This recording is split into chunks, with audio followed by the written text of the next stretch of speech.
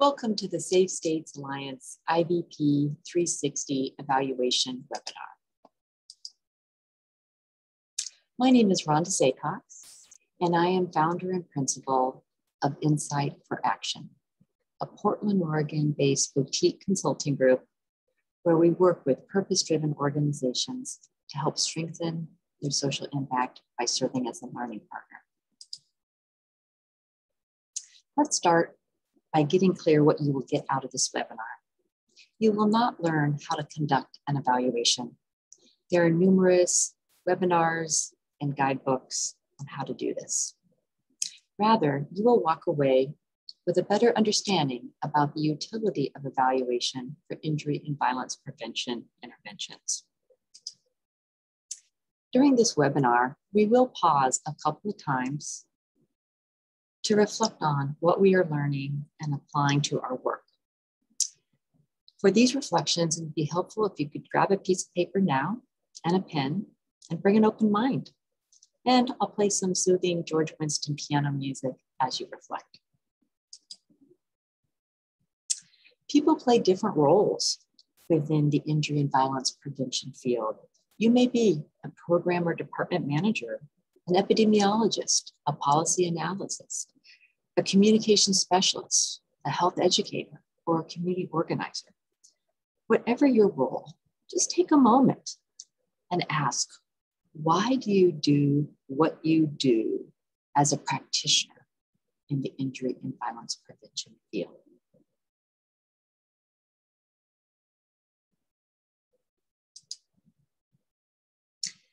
People's motivation for working in the field of injury and violence prevention varies.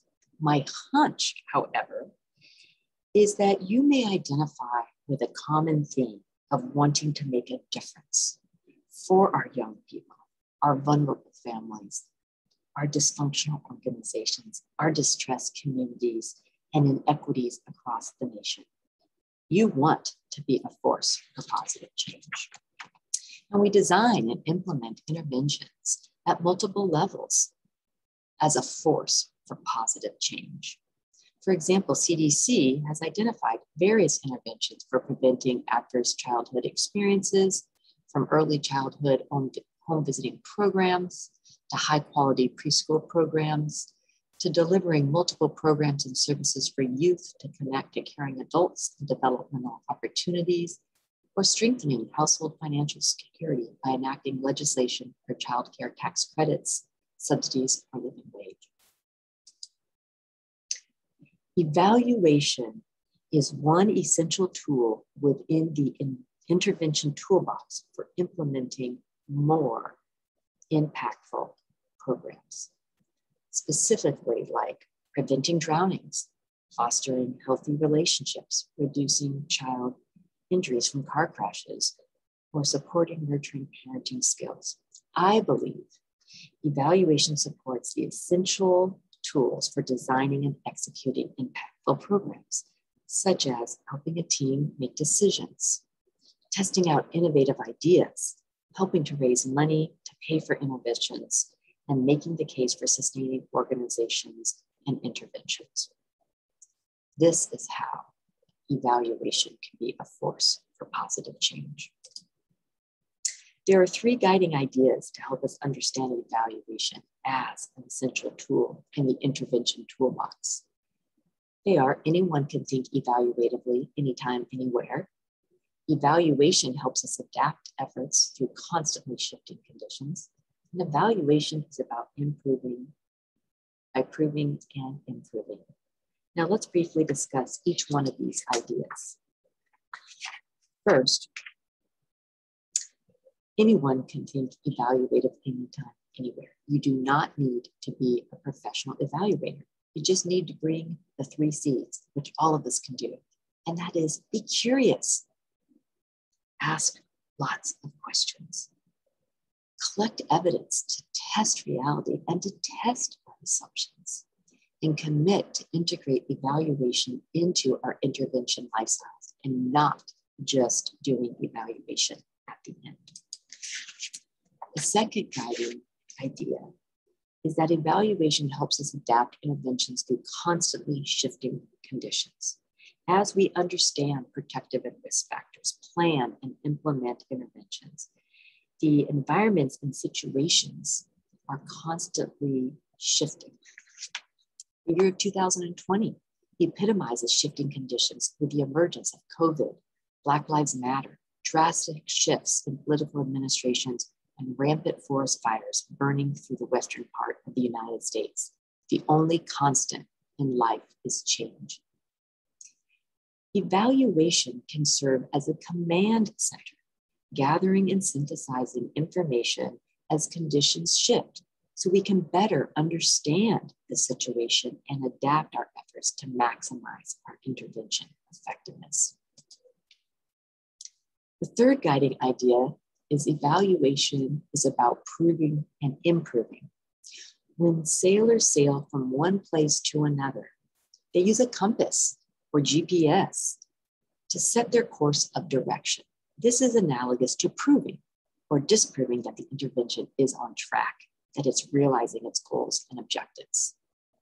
As the wind shifts, sailors adjust their rudders and tack, maneuvers that turn a boat's bow toward and through the wind so that the direction from the wind blows changes from one side of the boat to the other, allowing progress in the desired direction.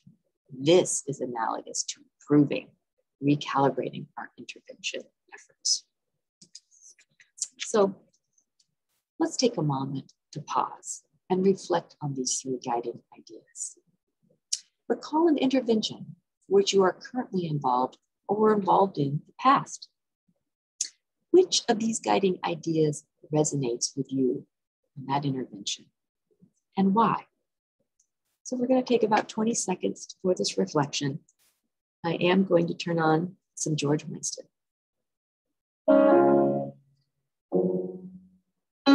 You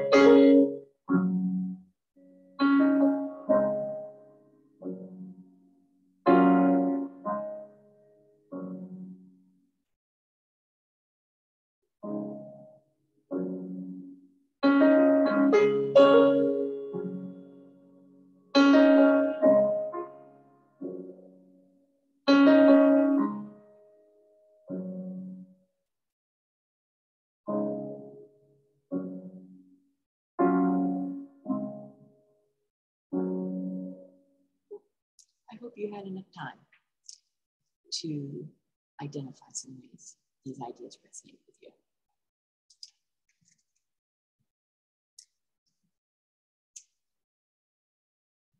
Now, let's talk about evaluation as a way of proving.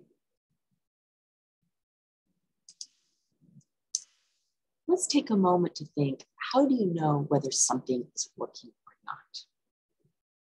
Such as an intervention you're working on, or perhaps a new exercise program that you've just started, or trying to try a new set of parenting skills for those of us who are parents. How do you know any of those efforts are actually making a difference? There are many ways we discern whether something is working. We rely on our intuition, or we get answers from our religious faith or we believe what other people tell us as truth. Another way is to collect data to discern whether intervention contributes to a desired outcome. We typically start with a desired outcome, something we want to see changed, like reducing falls and related injuries among older adults. We know there are multiple risk and protective factors for falls among older adults, like low vitamin D, poor vision, home hazards, taking multiple medications, and poor balance and strength. Of course, we design interventions to minimize those risk factors or eliminate them, or to enhance protective factors. Tai Chi classes is a common intervention offered to older adults to improve their balance and strength and reduce falls. Collecting data to discern whether an intervention contributes to a desired outcome is what we mean when we talk about the logic of proving. To be clear, outcomes are desired positive changes. We typically develop an intervention to change the status quo. The status quo could be violence among people who date. We then implement an intervention with a desired outcome to create more healthy relationships. Desired outcomes are about changing something from the status quo. Influence, effect, impact, increase, decrease, shift, improve. These are all words that we use to indicate change in outcomes or outcome evaluation.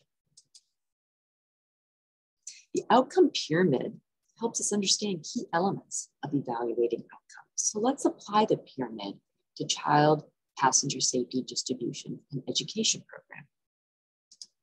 We know that an outcome is a change that is desired to result from an intervention.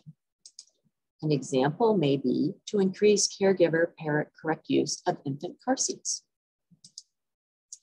An indicator is a specific characteristic that can be measured to assess change in the more broad, vague outcome. Examples of specific indicators might be percent of parent caregivers that position the harness straps at or below the child's shoulder or buckle the chest clip at a child's armpit level. These are concrete indicators that can be measured to know whether parents, caregivers' correct use of infant car seats is actually changing. A method is an approach for gathering and interpreting data, which are facts. A classic method is a pre-post test. And it may be before um, parents or caregivers come into an educational program, they're giving a survey to assess their knowledge and skill around correct car seat use. They take the educational intervention and they get a post test afterwards, asking them the same questions about correct car seat use, looking to see whether there was changes, improvement in the out in the post test is how we know changes have been made. Data sources are simply data or facts we gather to measure the indicators. So another classic way to measure outcome change in parent givers behaviors around car seats would be have a child passenger safety technician come and watch the parents um, put in a car, buckle their kids up in a car seat by using an observational checklist, and then do the same thing after the intervention was done. And the checklist becomes the data by which we use to assess change. So let's pause again. I ask you to, or invite you to recall the intervention you identified earlier in the webinar. And then take a moment to jot down a potential outcome or an actual outcome for that intervention and one or two potential indicators, concrete ways that you could measure to see if that outcome shifted. And again, I'll put on some listening music and I'll give you about 20 seconds.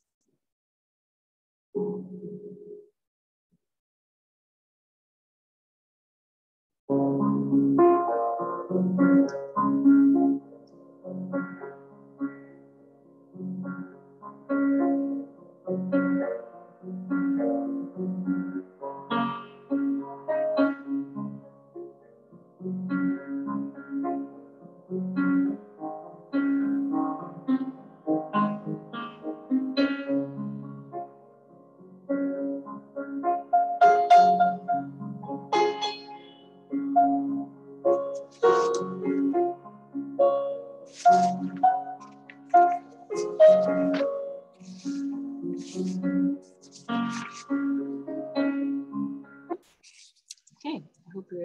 identify an outcome and some indicators.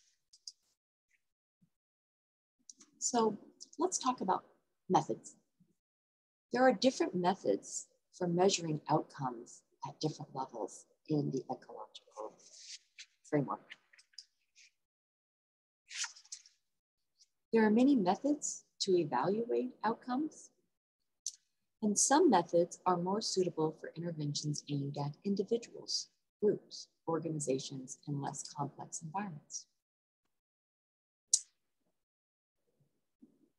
While other are more suitable for interventions aimed at communities, policies, systems, and more complex environments, like these.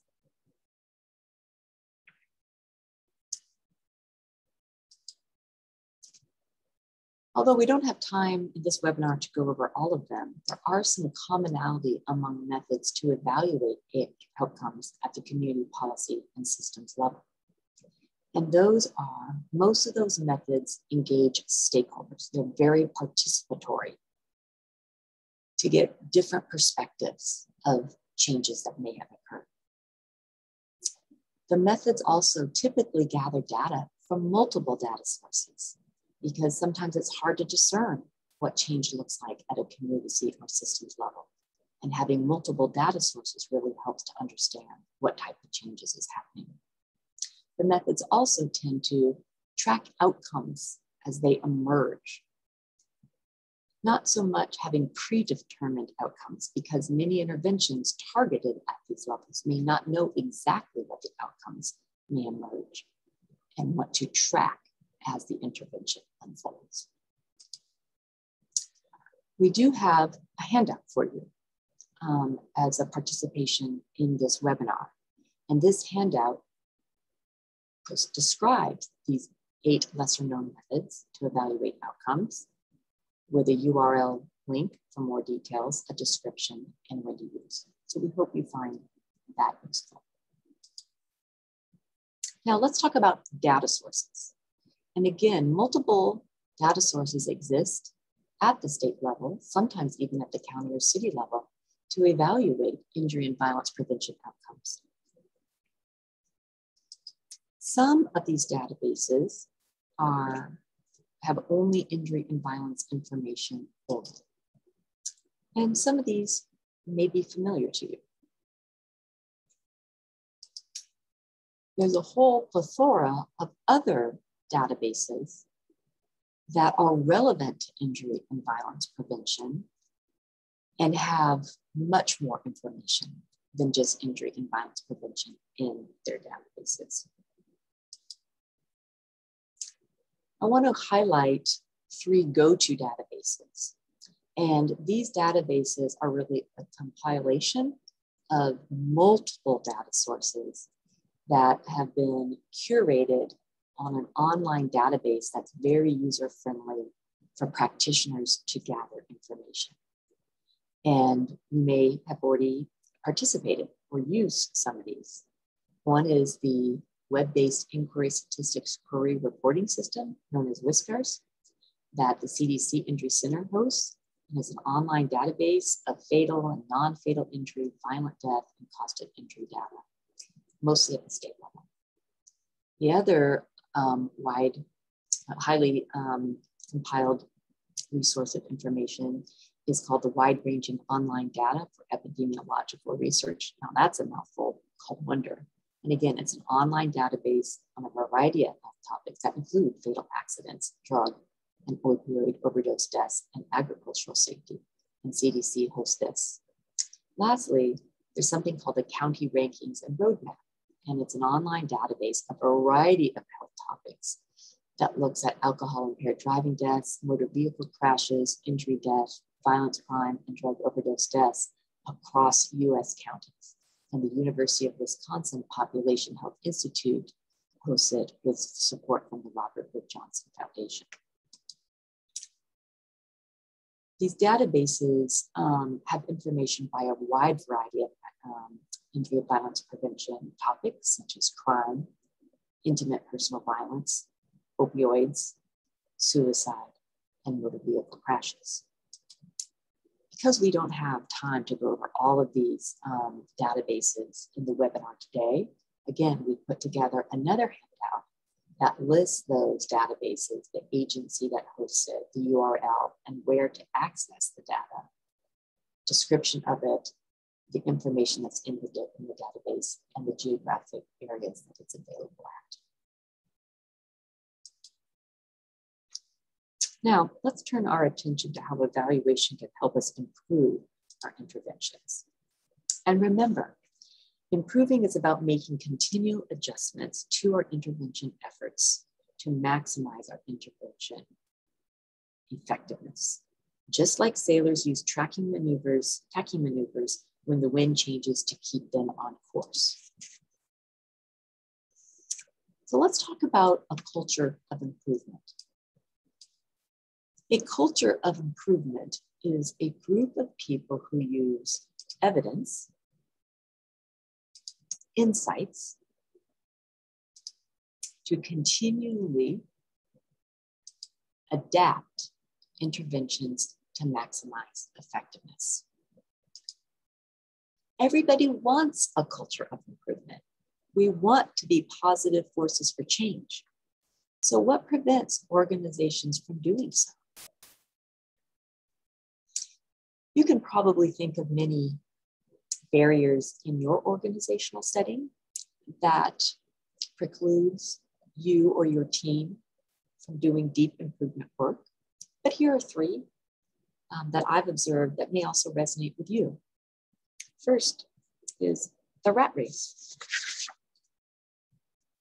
We are always trying to do and juggle too many things within too short of a time span. And we love chasing the next shiny new thing. We also love our darlings. We become attached to the interventions we create and we don't want to let them go or modify them greatly. And we don't prioritize reflection. And this is mostly because of the rat race. We choose to take on more because maybe the conditions are encouraging us to do so, which really prevents us from prioritizing chunks of time to reflect. So just want you to take a moment to imagine what would it look or feel like if your organization had a culture of improvement? What words or images come to mind? It's going to give you about 10 or 15 seconds for this as we listen to some music.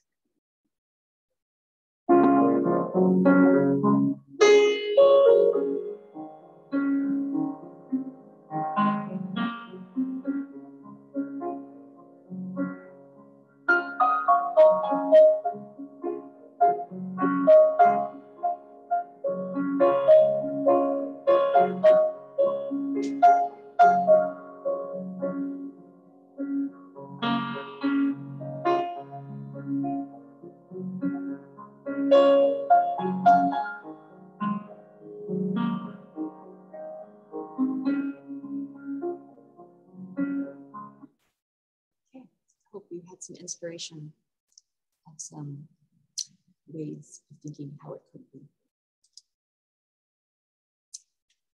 There are many ways for us to create a culture of improvement. And I'm going to share four that are pretty foundational.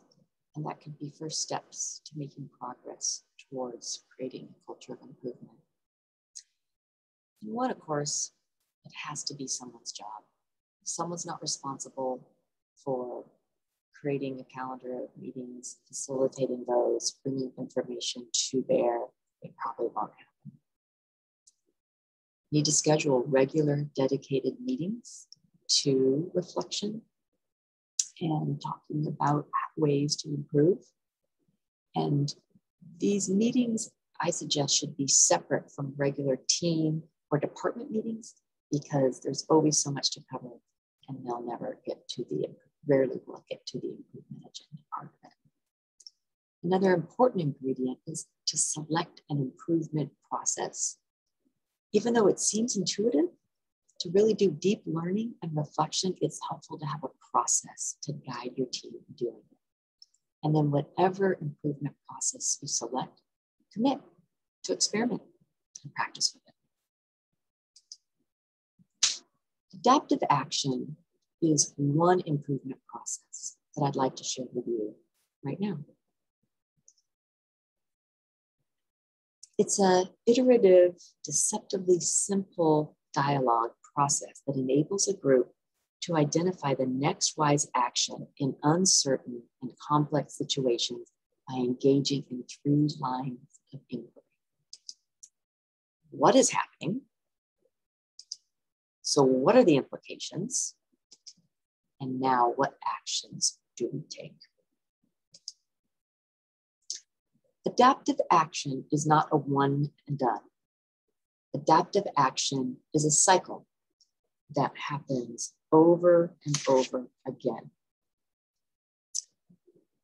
And these cycles can be done hourly, daily, weekly, monthly, or annually, depending on how uncertain and fast the environment and conditions are changing.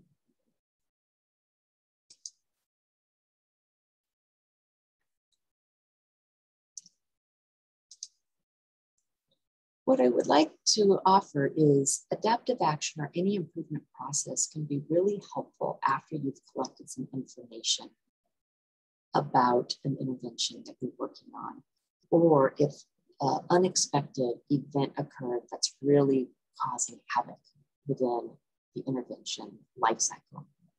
This would be a great time to pause and ask so, what is the current status of the intervention? What are the data telling us about it? What patterns are we observing within implementation? What is surprising us about the intervention at this moment? And what are the concerns or worries that we have about it? The so what then can allow the team to make meaning and understand the implications of what's going on with the intervention. So, some questions could be so, what are the gaps in our understanding of the intervention right now? what matters the most and why about the intervention. So, what is gaining traction in the intervention? With whom and where? And so, what is the gap between where we are now in the intervention and what our ultimate goals are? So, what options may move us forward? And so, what may derail, constrain us, or hold us back as we continue down the pathway of the intervention? And now, what questions could be asked so, what are the most and less important actions that we can take right now? What are the most worthwhile actions we can take? What is now, what is the timing required for which actions and who can commit to do what? So, the idea of adaptive action is to do some deep reflection that then moves the group to a next wise action or within the intervention life cycle. So this is our last reflection. We're coming to the end. So I'm hoping you'll stay with me on this. And again, I would like you to take a moment to recall the intervention you've identified earlier in the webinar and take a moment to jot down what are potential what, so what, and now what questions that could have been useful if it's a past intervention or that could be useful now for you or your team to reflect upon. And while we do this reflection, I'm going to put back these questions as just ones for you to reflect on and see if any of these would be useful or others that you might identify. Take about 20 seconds to do this.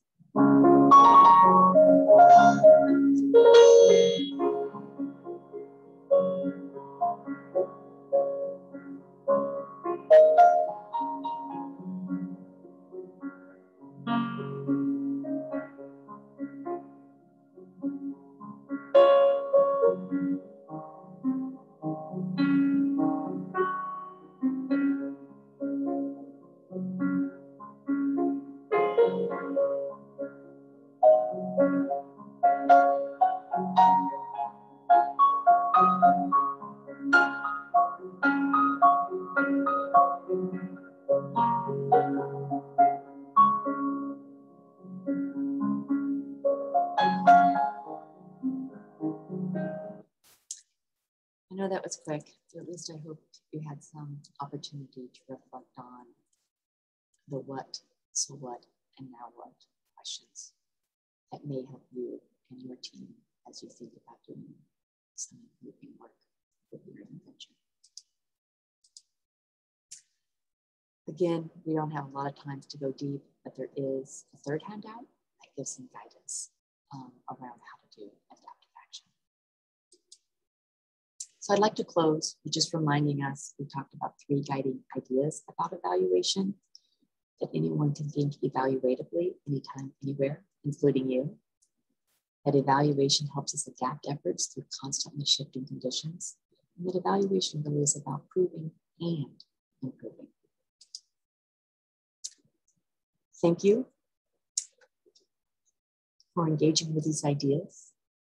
And may the road ahead bring you much joy and peace and integrating evaluative thinking into your evaluation world. Thank you.